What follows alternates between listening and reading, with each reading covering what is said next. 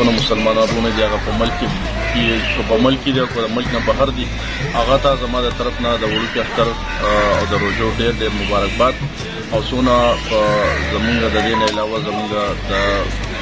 د پی ټی آی مرګري دي د علاقې مشران دي په خاص توګه باندې د ملکان سونه ځوانان دي ټول ته مشران او ته خپل خويندو مېندو ته زما د طرف نه د وړو کې اختر مبارکي ډېر ډېر قبول کړي سکو او دعا به کوو چې په دې ملک کې دا کوم حالات دي او د عمل د کم مشکل سره مخ دی چې د وړوکي اختر په برکت سره الله پاک په عمل کې امن راولي او الله پاک د عمل چې کوم حالات جوړ دي کوم مسلې دي الله دې په خیر سره دا سرته ورسي او زما د طرف نه یو ځل بیا ډېر ډېر د اختر مبارک